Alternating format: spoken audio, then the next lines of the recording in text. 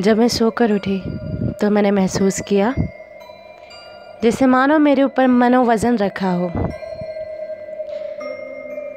मैं हिलना चाह रही थी, लेकिन हिल नहीं पा रही थी। मेरी सांस जैसे रुक रही थी। ऐसा महसूस हो रहा था कि मौत मेरे बहुत करीब आ गई है। मैं चाह रही थी मैं आयतल कुर्सी या कुछ कलमात अदा करूँ लेकिन मेरे हलक से आवाज़ ही नहीं निकल रही थी। मेरी आवाज़ तो जैसे दमबुख्त हो गई थी।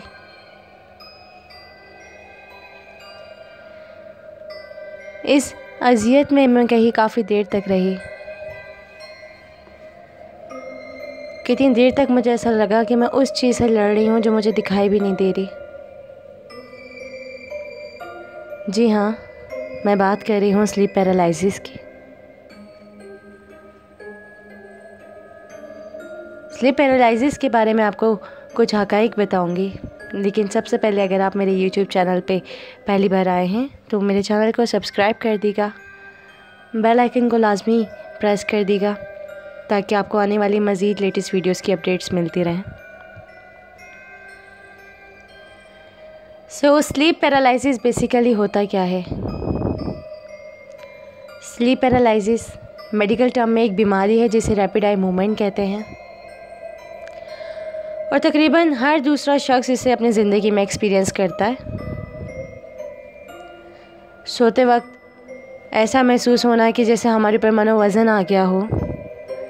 सांस नहीं आ रही हो, चीखना चाह रहे हो, पुकारना चाह रहे हो, लेकिन हलक से आवाज़ ना निकल रही हो। मेडिकल टर्म में इसे रैपिड आई मूवमेंट कहते हैं। एक बीमारी है, जिसकी reason medication drugs blood pressure का अप डाउन होना डिप्रेशन या बहुत ज़्यादा स्ट्रेस का होना, ये बताई जाती हैं।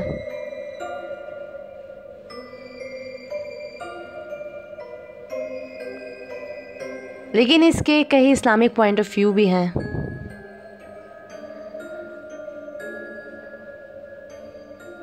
लिसान अल अरब में इब्न मंजूर कहते हैं कि जब हम सो जाते हैं तो एक जिन है जिसका नाम अलकाबूस है।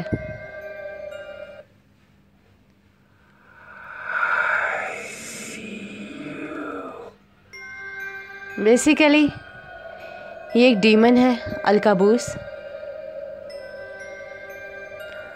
इसका मकसद हमें सोते वक्त हम पे हमला करना, हमारी जान लेना होता है, लेकिन क्योंकि इसके थम्स नहीं है, अंगूठे नहीं है तो ये हमें मार नहीं सकता, हमारा गला दबा नहीं सकता। लेकिन ये नींद में हमें, हमारी रूह को अजियत देता है। हमें ड्रोनी ख्वाब दिखाता है, हमारा सबसे बिगेस्ट फेयर सबसे बड़ा खौफ। हर शख्स को एक अलग अलग खौफ होता है, किसी को ऊंचाई का होता है, किसी को आग से खौफ होता है, किसी को पानी में डूब जाने से खौफ होता है। अक्सर ख्यालों में जो हमें नज़र आता है कि हम एक ऊंचाई से गिरे हैं और अचानक से ज़मीन पे आए हैं और हमें झटका सा लगता है। यह हमारा सबसे बिगेस्ट फेयर हमें अलकाबूस ही दिखाता है। इसका मकसद होता है हमारी सोल हमारी रूह को हर्ट करना।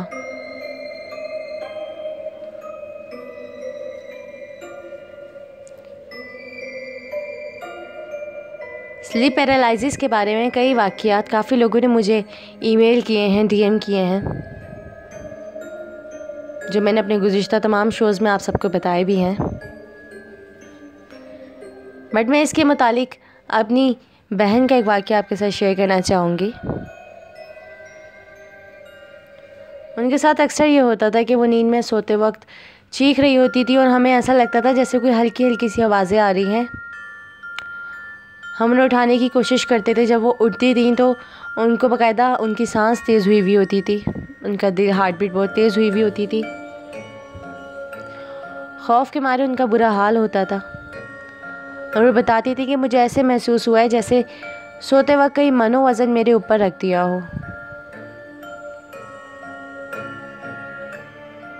जब मैं उठी तो मुझे मालूम नहीं था जो मेरे साथ गुजरा वो हकीकत है या ख्वाब। बहरहाल स्लीप पैरालिसिस ये एक ऐसी चीज़ है जो हर शख्स एक्सपीरियंस करता है।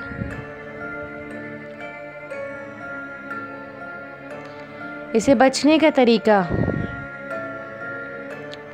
महज ये है कि जब आप सोएँ, सोने से पहले बावजी हो जाएँ, चार को लातल कुर्सी पढ़ के सोया करें।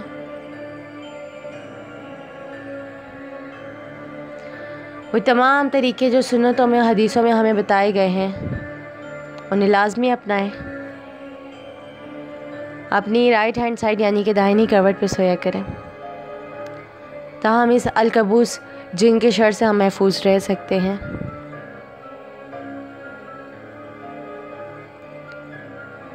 सो हर नाइट विद फ़िज़ा में मैं आपकी मेज़बान फ़िज़ा रोज़ कुछ वाक़ात कुछ हकाइक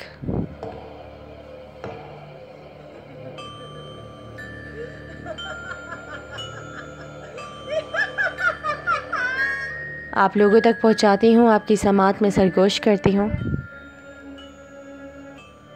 कई स्टोरीज़ कई वाक़ात जो आप लोगों ने मुझे डीएम करके बताई होती है ईमेल की होती हैं, वो मैं आपको बताती हूँ।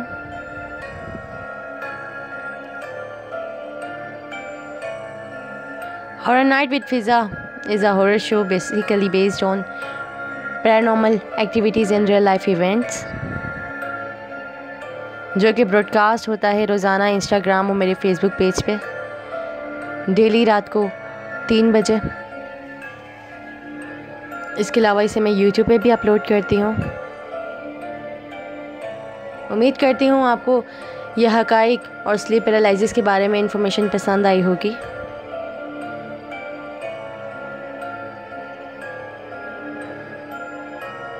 सो नेक्स्ट वीडियो में आपसे फिर मुलाकात होगी कुछ नए हक़ और कुछ और कहानियों के साथ।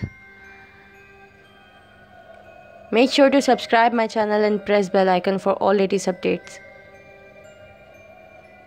तब तक के लिए अपना ख्याल रखिएगा। गुड बाय टेक केयर अल्लाह हाफिज़, फ़ी अमान